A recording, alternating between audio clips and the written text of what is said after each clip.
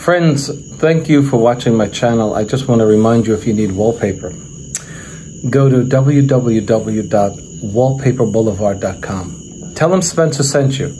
In fact, if you use my hashtag, Spencer Colgan is wallpaper, they'll be sure to give you a 10% off at your checkout. No matter how much you order, they have a wide selection of wallpaper. Check it out.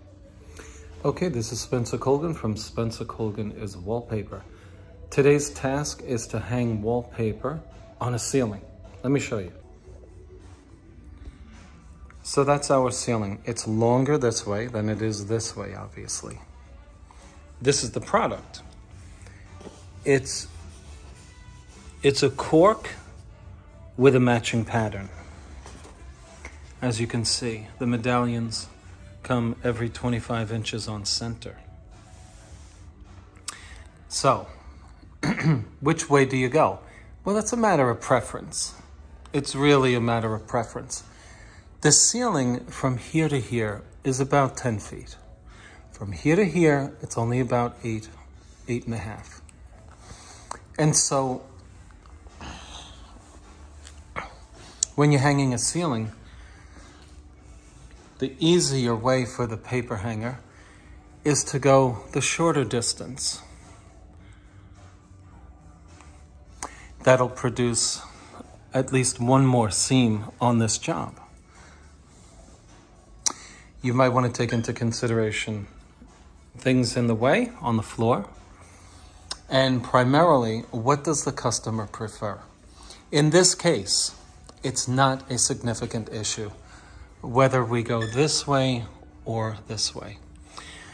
So here's how you would engineer this.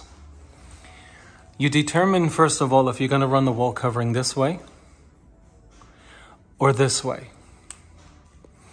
You find the exact center point of the, the wall, in this case, a ceiling.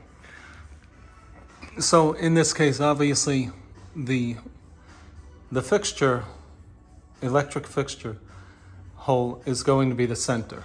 It's not always the case, and I'll measure to make sure, but we're assuming that's the center. Then you determine what is your full length. Let's say my full length is 200 inches. I then pencil mark where, where my center line is. And then if my wallpaper, if the number of wallpaper sheets that I need to cover from here to there is even if it's an even number like four or six, then I'm going to start the first sheet edge right against the center line.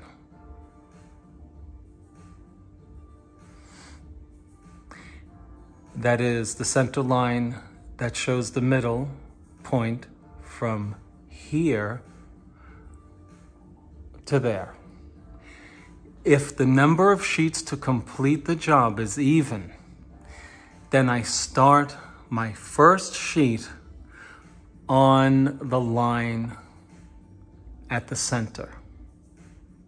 I could start it here, or I could start it there, as long as I'm beginning on the center line. But what if the number of sheets is odd? Like three or five or seven. In such a case, where the number of sheets to complete the project is odd, then I'm going to start my sheet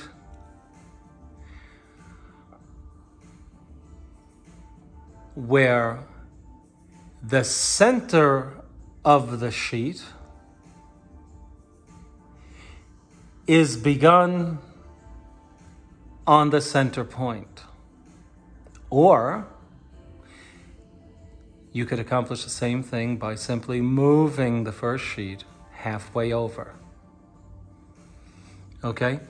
So if it's an even number, my sheet begins the edge right on the center line. But if it's an odd number of sheets, my sheet, simulated by the space between my fingers here, would start here. See that?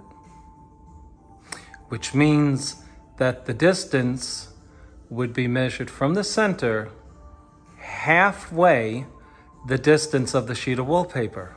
So from, so from here to here would be half of my sheet.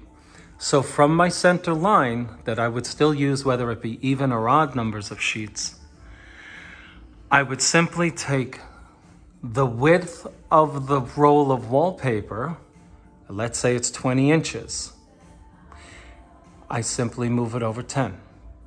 So that the distance between the center line and the edge of my first sheet is 10 inches or half the width of the sheet of wall covering.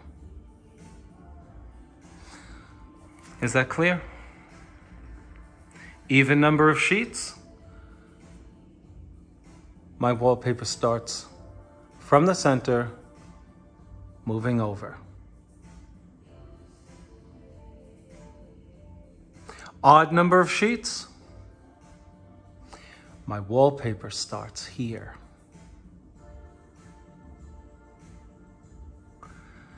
And that will give you symmetry on each side of the center. Any questions, please leave it below. So, with the help of our scaffold and ladder, I engineered my ceiling and I want to share with you my results. So the total width of our space in consideration of the fact that our wall covering will be applied this way, top to bottom, long sheets down this way. In consideration of that, we're measuring side to side. Make believe this is a wall. Same rules apply for ceilings. My total distance between left to right is 157 inches.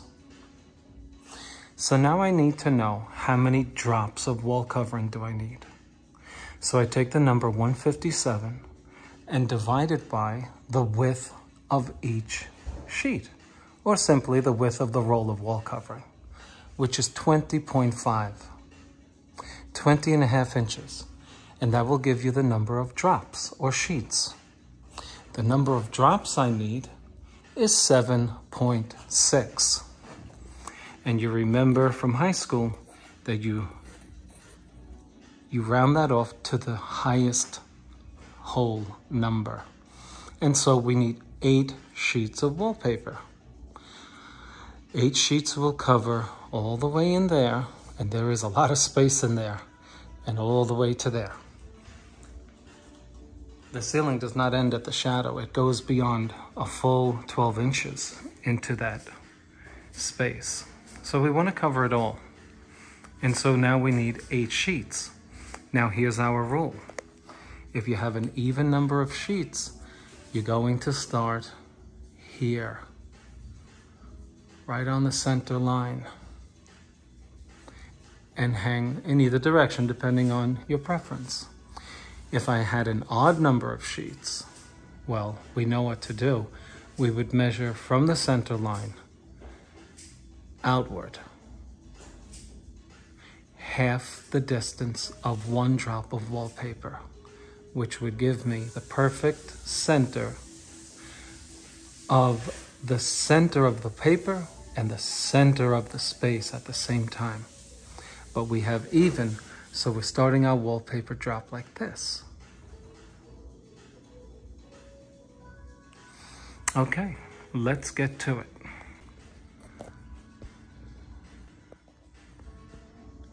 to give myself a nice straight line here, I'm going to measure from the end inside there all the way to the center, half of 157, since 157 is my total distance. 157 divided by 2. And 157 divided by 2 will give me 78 and a half inches. And so I'll measure out from here, make a mark at 78 and a half, and come over here, 78 and a half, and run a laser and join those lines. And then that'll give me my, my perfectly straight line. Okay, I'm going to share with you a problem that I encountered. That is my true midpoint right there. But when you come up here and you see what should be the center of the ceiling with this fixture hole, right? You can see that it's over. This center, this true center, goes this way to meet that. So this is off center. So we have to yield to the circumstances that will dictate the beauty of our final product. If we go and we're stubborn with logic and say, well, that's the half point right there, they did not center this. This is not uncommon. This is, this is off by two inches. So we're going to yield to that imperfection and make this our center aesthetically. And what I did was, instead of going by measuring off of the wall, if you look close at the top of that crown molding, I put a pencil mark. So we're gonna go off of the crown. Since the crown is dominating the appearance of this ceiling, it all looks symmetrical, doesn't it? So we're going with that.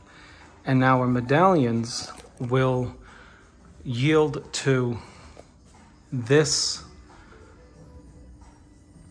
rectangle so that the opening, whether it's off or not, it will look perfect.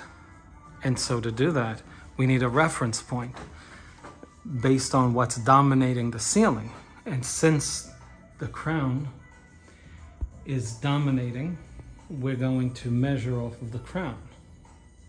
And so I'm going to find the center of the crown from there over to the next 45 and base my layout on what appears to be perfectly centered ceiling space. My new center point will be half from this point to this point.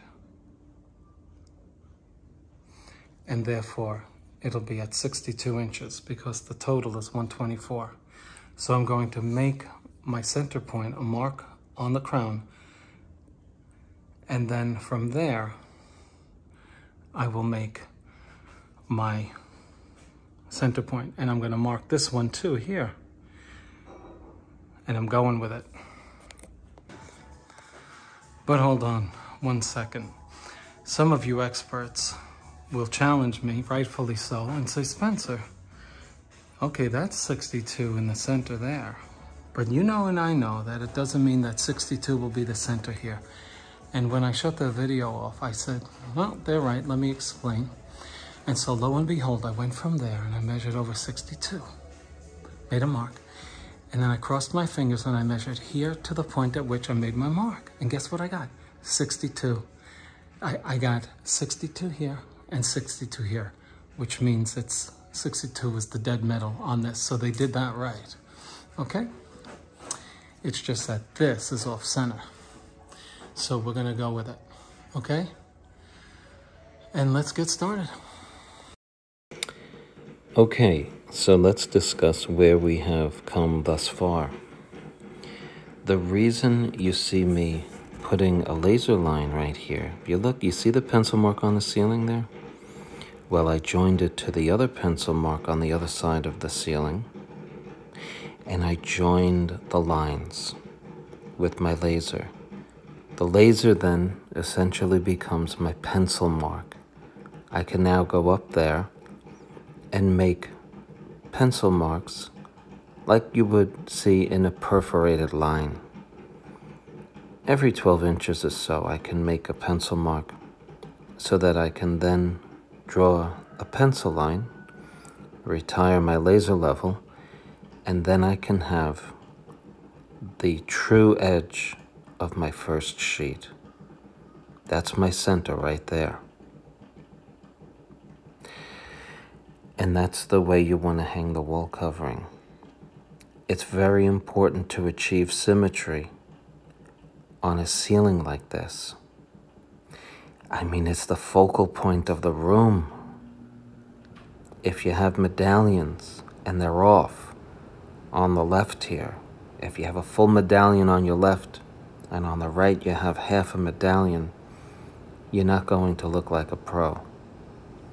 This planning this engineering of the layout is the most important part of accent wallpaper hanging.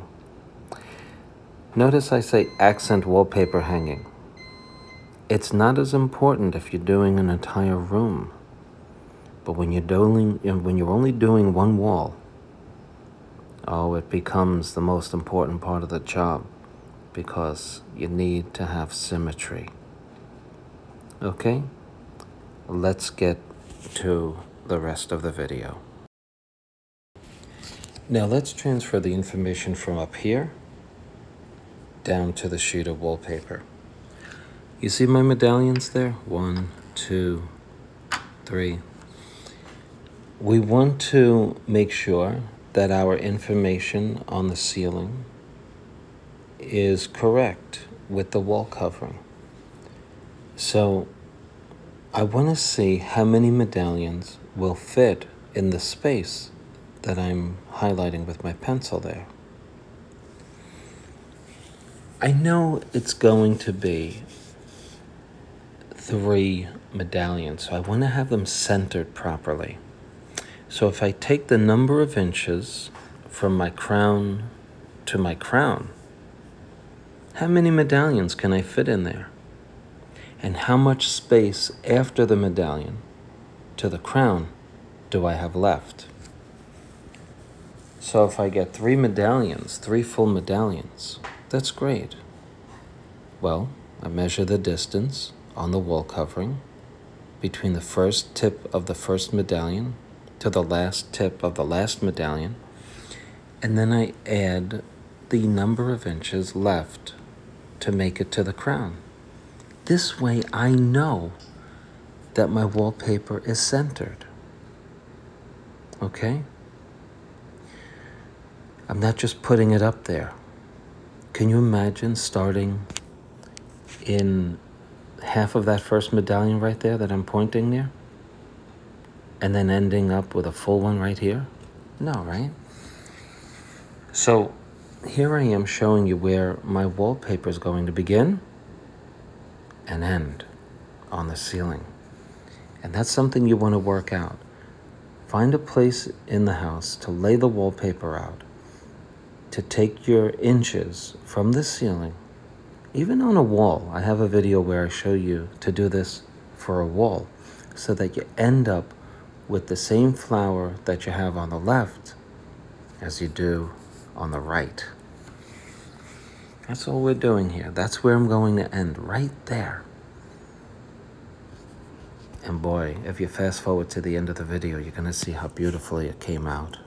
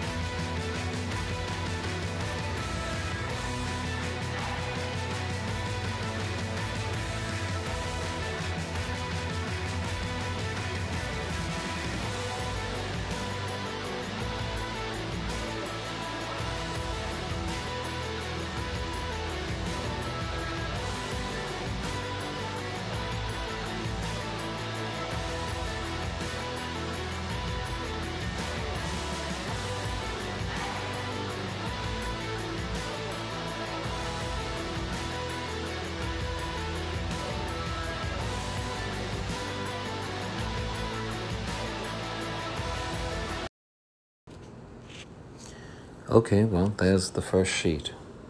And boy, I have to tell you, it's the most important sheet. You see right near the fixture circle, you see my my pencil line right there. Well, that gives me a 90 degree angle with the crown molding.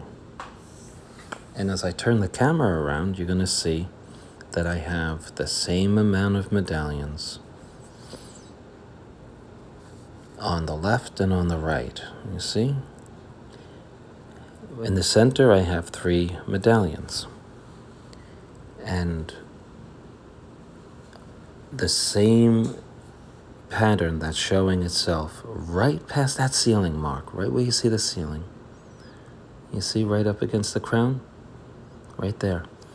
It's the same as I have over there. And I might be beating a dead horse, but forgive me. I want you to realize how important it is.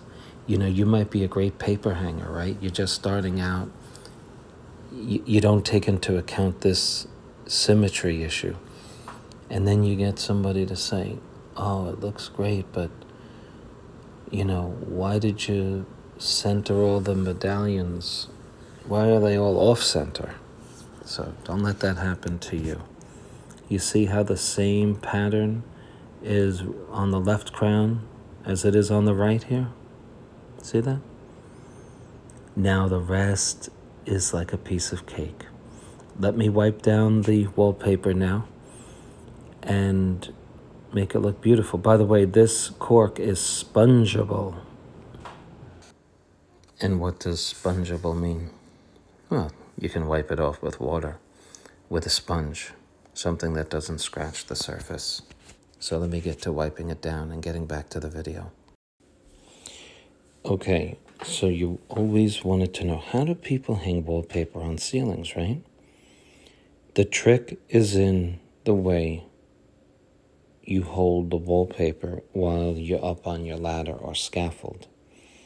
Take a look at the way I have folded the wall covering.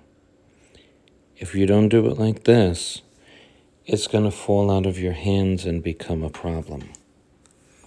I've overlapped the wall covering back and forth, back and forth, giving me 15 inches of usable wall covering as I'm up on the ladder. If you do any wider than that, it becomes cumbersome and, and the weight of it starts falling down off of the ceiling.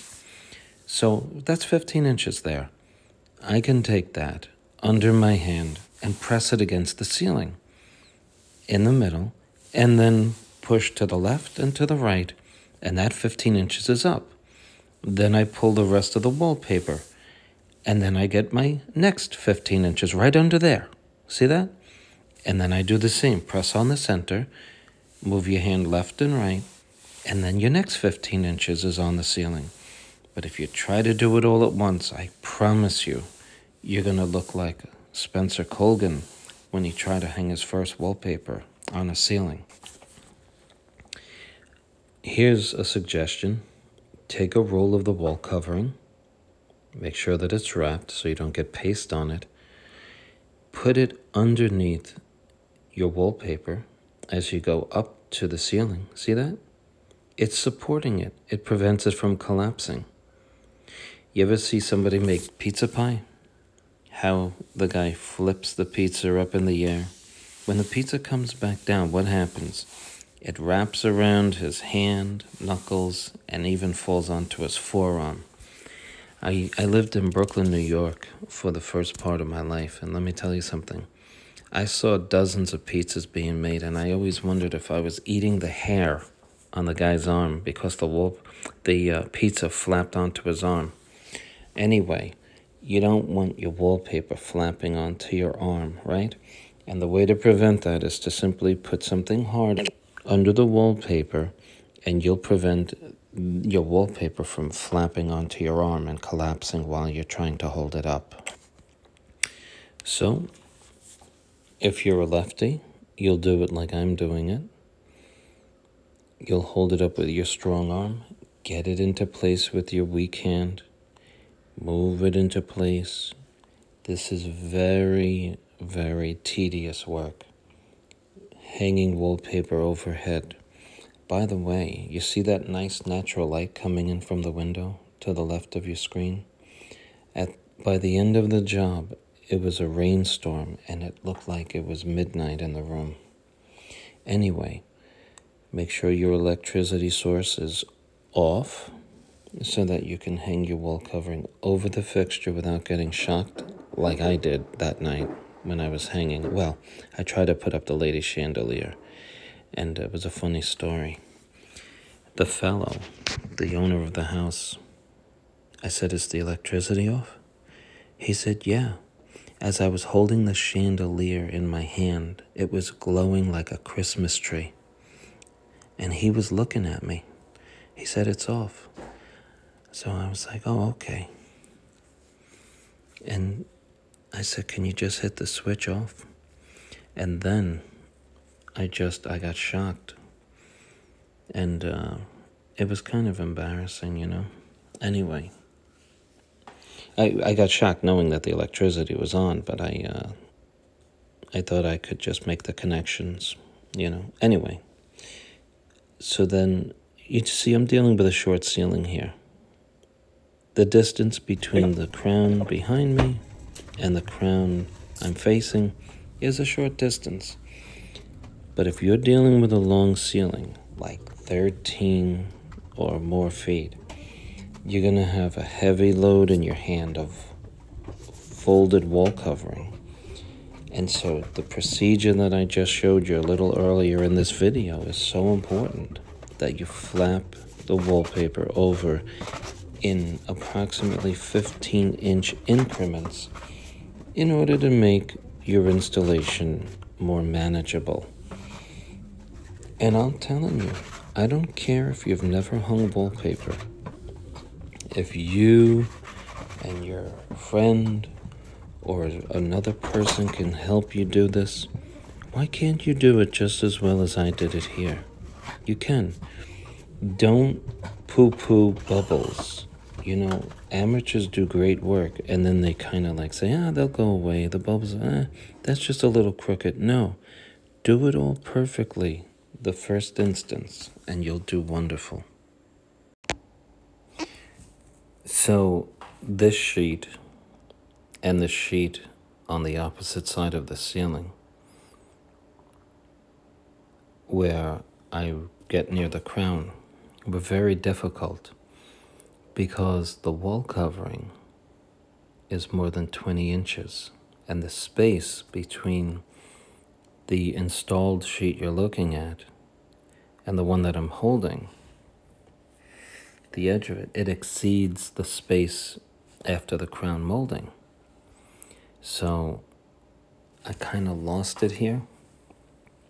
See, if I had a helper on the scaffold, the person could have held the wall covering above the crown, just below the ceiling, as I as I came along, you know. If it were a larger ceiling, I would have needed a helper. So I'm just doing this on the fly. But this is not ideal to do it like this. But you know, you make do, right? So that's what I'm doing there.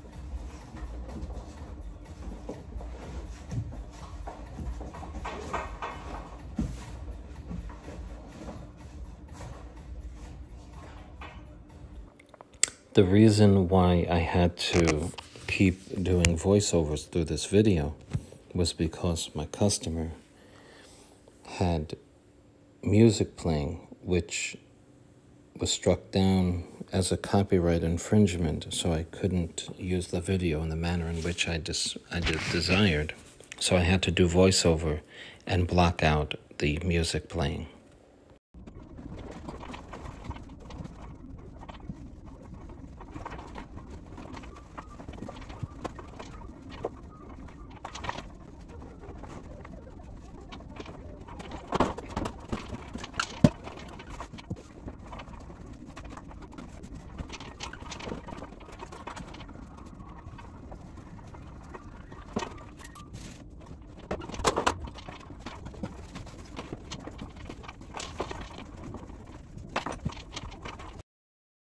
Okay, so I'm trying to show you up close how it should look in your hands when you go up to that ceiling.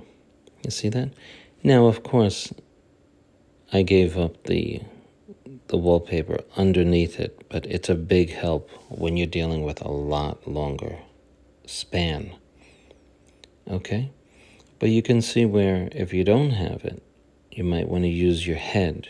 No pun intended. You see how I'm using my head there? Okay, and it's essential that you adjust your scaffold correctly. Here's a rule that I have. When you're setting up your scaffold, you see those holes on the yellow rail, the vertical rail on my scaffold? You, if you're working on a ceiling, you want your head to be three inches under the ceiling. And if you do that, you and depending on your height, you'll know with a tape measure how high your scaffold should be set. You know how many times I've set up my scaffold too high and I'm crouching my head because it's just an ordeal if you're working alone to lower the scaffold once it's fully assembled. It's an ordeal. And if and if it fails, it can literally cause damage if you if the scaffold falls against something.